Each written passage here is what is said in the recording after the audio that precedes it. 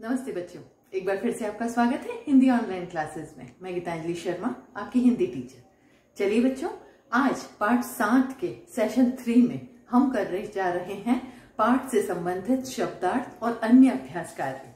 आशा करती हूँ आप इन्हें ध्यान से समझेंगे। आइए बच्चों, शुरू करते हैं अभ्यास हमारे नए शब्द से।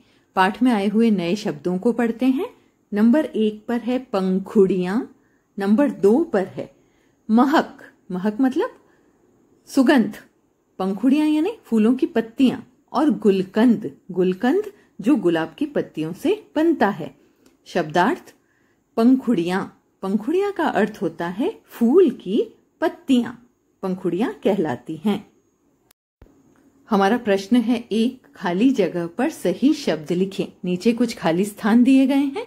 उन्हें हम उनमें हमें पाठ में से चुनकर सही उत्तर लिखने हैं।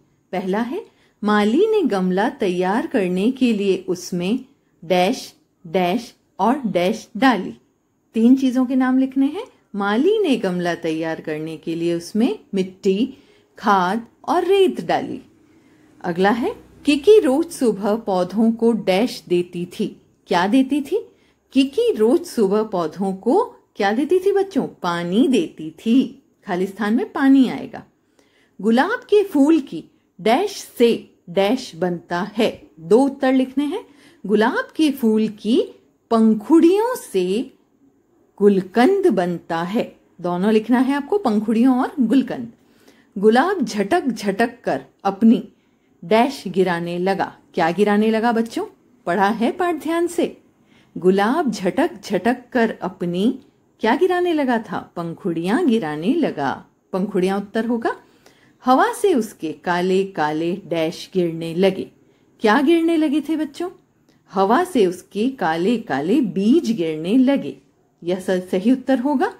इस प्रश्न का भी आपको अभ्यास करते रहना है। चलिए बढ़ते हैं आगे। हमारा अगला प्रश्न है पौधे के विभिन्न भागों के बारे में। पौधे के विभिन्न भागों के नाम पहचान कर लिखें। यह हमारा प्रश्न है।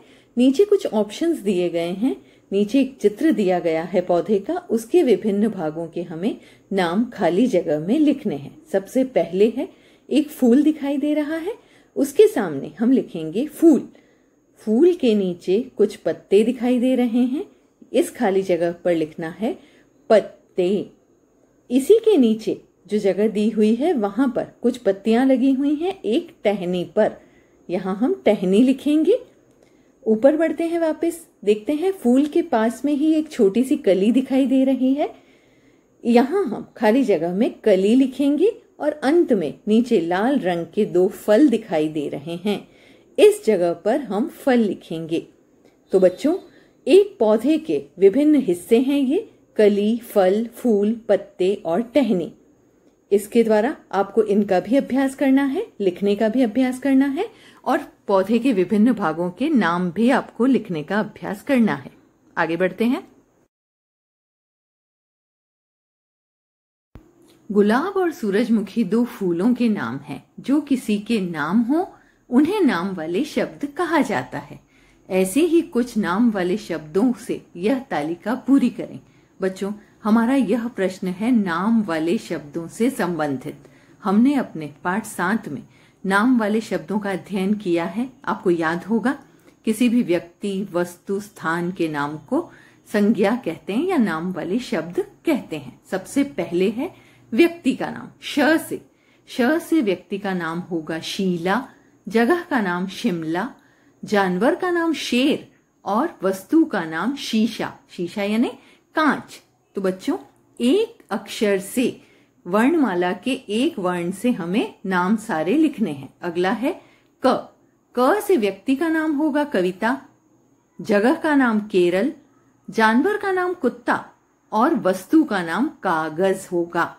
ये सब क से शुरू होने वाले नाम वाले शब्द हैं। अब हमारा अगला है अ से। हमें अ से व्यक्ति का नाम लिखना है। सोचिए? जी हाँ अजय जगह का नाम आगरा, जानवर का नाम अजगर और वस्तु का नाम अंगूठी। ये हम लिख सकते हैं। अगला है ह से। ह से व्यक्ति का नाम हमें लिखना है। बच्चों, सोचिए। जी हाँ आप भी अपने मन से लिख सकते हैं। ह से हिना, व्यक्ति का नाम। जगह का नाम हवई। विदेश में एक जगह है। जानवर का नाम हाथी और वस्तु का नाम हल।